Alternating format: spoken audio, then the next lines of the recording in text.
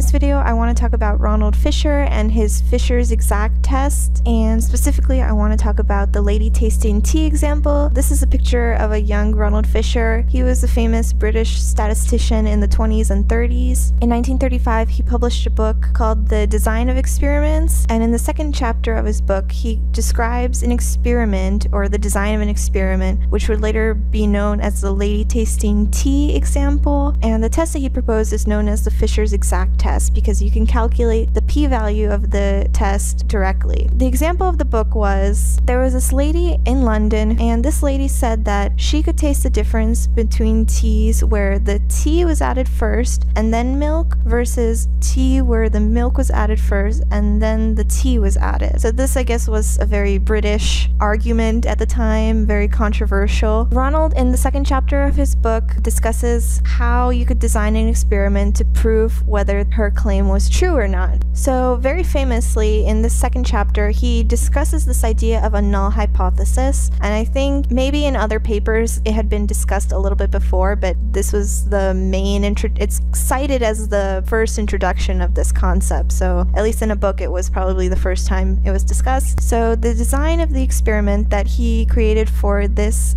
test was that he was going to ask the lady to drink eight cups of tea, and she would know that four cups had milk poured in first and four cups had tea poured in first. And she would drink the eight cups and then have to tell the researchers which cups she thought had milk poured in first. I think she was asked to pick the four with milk. So one of the first things to note was that this was a small sample size because they didn't want to have the lady drinking 30 or more cups of tea to get a larger sample. So it was a small test and it actually will you'll see it's not a very powerful test at all. So the results of this test could be written out in a 2x2 contingency table where you're trying to test whether there's any relationship between what was poured first, either the milk or the tea, and what her guess was first, either milk or tea. If she had guessed correctly, the table would hypothetically look like this where her guess of milk being poured first was four times out of the four times milk was poured first, and her guess of tea being poured first four times is four times out of the four times tea really was poured first, and then the total of all the trials is in this box. So Fisher's null hypothesis was that there was no association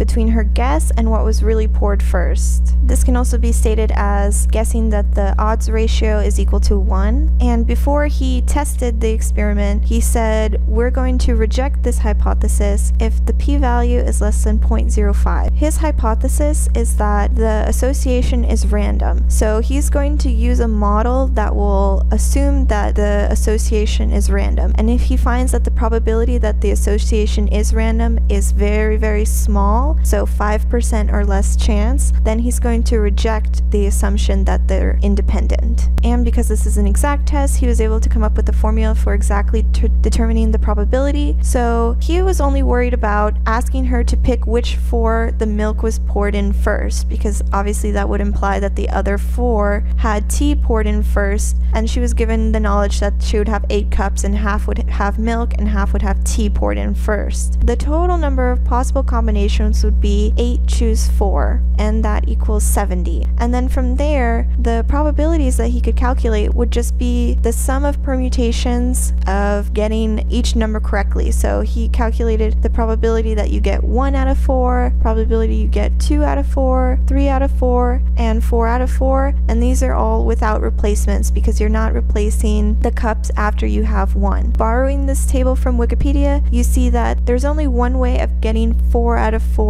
milk guesses correctly and therefore getting all the teas correctly as well. So you can only do that by getting everything right one way. So the probability of that is 1 out of 70. In the chapter, he never actually discussed performing this experiment on the woman, although it was based on a true story. And I've read later on that someone did actually test the woman and she did get 4 out of 4 correctly. So if you do that test, then it would be, the p-value would be 1 over 70 70, which is approximately equal to 0.014, which is obviously less than 0.05. So according to this p-value and the rules that we had discussed prior to running the test, in that case you would reject the null hypothesis that there was no association. And you could reject that the idea that the woman just randomly was guessing milk or tea. So as you can see, this is a really small p-value. It's much less than the p-value required to reject the null hypothesis. And this suggests that the test is very conservative. So you can see that it doesn't, it's not a very powerful test at all just because the sample is so small. So if the woman had guessed three out of four correctly, that sounds like it's pretty good. But if you do the math, because there are 16 different ways of getting three out of four correctly, the p-value for that actually ends up being 0.22, which is way over 0.05. So if the woman got anything less than a perfect score, we wouldn't have been able to reject the null hypothesis. He discussed towards the end of the chapter how this test is not perfect and how the design would be better if you had her drink more cups of tea and the different ways you could improve the test, but it was still a pretty influential uh, design that is still used today.